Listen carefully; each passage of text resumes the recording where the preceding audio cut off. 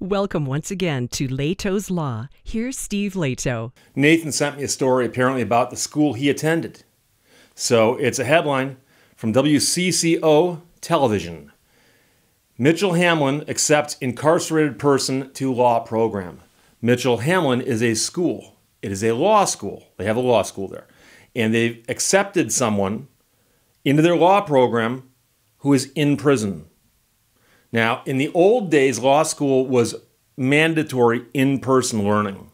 When I went to law school, they didn't have online learning. We had the internet, uh, almost. the internet was coming.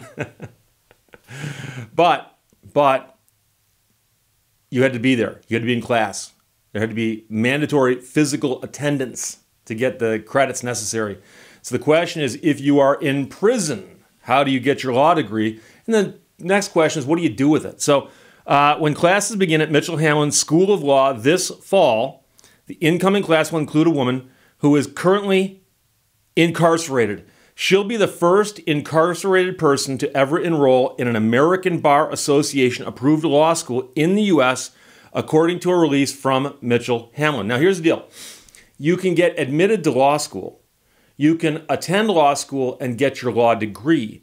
That does not guarantee that you can become a lawyer, though, because to become a lawyer, you still have to get, you know, admitted to a bar. And to do that, you got to pass the bar and also character and fitness. However, some people do get law degrees knowing they can't practice law. So that's not necessarily uh, a deal breaker here. The law school made the announcement a couple days ago saying the school intends to enroll more incarcerated people in the coming years. Uh, I didn't know this was that big of a market, but apparently it is. The woman here learned she's accepted just a few days ago when the president of Mitchell Hamline uh, visited her at Minnesota Correctional Facility to share the news. The school says her tuition is going to be paid by private fundraising and scholarship assistance. So she gets some scholarship assistance, but the rest will be private fundraising. She will attend classes entirely online. Now, I think we could have guessed that, but I suppose you got to put that in there for people who are going to ask. This comes after the ABA granted Hamline permission to allow qualified incarcerated people to enroll in its law program. The school also says they are now able to admit up to two incarcerated students each year. So apparently, they had to seek permission from the ABA to do that to keep their ABA accreditation in line. And the ABA said, go ahead and do that. Go ahead. Hamline says the effort is almost three years in the making. The university collaborated with the Legal Revolution, a nonprofit that aims to educate incarcerated people across Minnesota. According to state records, the woman here was convicted of first degree premeditated murder back in 2014. She was sentenced to life in prison and could serve up to 40 years. And of course, every state's different on how they calculate these things. Uh, so whether she can get out or not is unclear.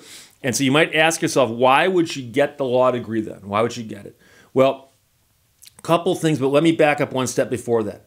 As you know, if you've watched my channel for any length of time, I'm a big supporter of education. A lot of the t shirts I wear are for schools. I've told people that one of the things that I like to promote the most is education. Uh, obviously, I went to college, I went to law school. My father was an educator, my mother was an educator. My grandfather was a dean of a college, my grandmother was a teacher. So there's all kinds of educators in my family, and I've always held education uh, in high esteem. I, I personally think that uh, as you go through life, if you get an education of any sort, and I'm not talking about just sitting in a classroom getting like a liberal arts degree, okay? There's all kinds of education. You can go to trade school. You can you can learn a trade as an apprentice, okay? Any education you get, any learning you get will benefit you because you learn something and you take that learning with you through life. It changes how you see the world. It changes what you can accomplish. It helps you accomplish more and it might make your life easier if you if you've gotten a good education of some sort. So the fact that this woman is in prison and wants to get a higher education, I assume to get into law school she must have had an undergraduate degree because that is almost always a requirement of some sort. And she probably had to do some other things to convince them that she was a worthy candidate because it says here that they could take other people also. And so even if you said, Steve, Someone who's in solitary confinement for the rest of their years wants an education. Should they be able to get it? If it can be done in a way that won't burden taxpayers, I say right, go right ahead. Absolutely. If they want to better themselves, let them. Education ain't going to hurt them. It's going to help them. So, you know, I, I'm all in favor of that. But I have to imagine that someone who is in prison and is working on a law degree and gets a law degree, whether or not they can get admitted to a bar association is not really the point. Because while in prison, you may know this, a lot of people work on their own appeals while they're in prison. Timothy Masters spent 10 years in prison. The bulk of that time he spent researching and writing appellate briefs, which eventually helped him get out of prison. And he spent time in the law library of the prison, which I have to imagine is about a shelf that size. But a lot of a lot of prisoners are doing that. Likewise, there are prisoners who would like to know more about their situation while they're in prison, but they can't because they either can't read that well or they don't know where to begin. And so, someone who has a legal education in prison might be able to help fellow inmates. I have heard of people who've gone to prison before, been sent there for many years, and they had some ability to teach. They knew a subject well enough to teach it, or they were a professor or something before they went to prison, or they were an attorney. Okay? And once they go to prison, somebody says, hey, this person here has got knowledge and they're willing to teach other people. Maybe we can do something with that. So it very well could be that this woman here gets her law degree and can simply help other prisoners do research on their own situations uh, or prepare their cases or whatever they're going to do. Uh, and like I said, it could just be for her to better herself. And if she gets out of prison 40 years from now, uh, it might be that she can then seek admission to a bar.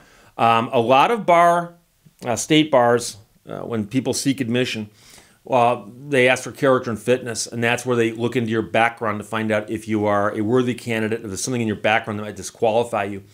And I've known people who went to law school suspecting that they were not going to pass character and fitness. And so the question is if you had a uh, record like this, would that stop you from being admitted to a state bar association? There's a good chance it would. But of course, if she gets the law degree now and spends the next few decades helping people, uh, and then she gets out of prison, then she might be able to say, hey, look, I, I got the law degree a while back. I've been helping people ever since. I'm out now. Just have one bad mark on my record.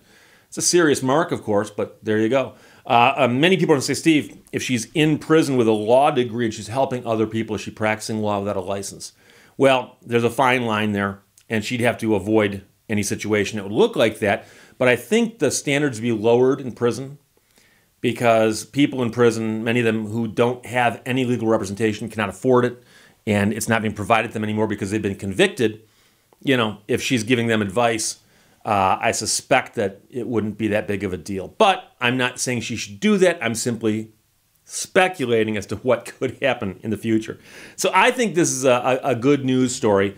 Um, in that, is a woman in prison, and instead of rotting away, plotting her revenge, she's applied to and been accepted to law school and wants to get a law degree while she's behind bars. So, Nathan, thanks for sending it. Like I said, I think it's a good story. We'll have to see what happens. Mitchell Hamline, it's a school, accepts incarcerated person to law program. She is the first in the country, according to the ABA. And it looks like there might be more of this in the future because people can now attend these classes online, which was not possible not so long ago. So there you go. Questions or comments, put them below. Let's talk to you later. Bye bye. Thank you for watching Lehto's Law. Life has no limitations except the ones you make.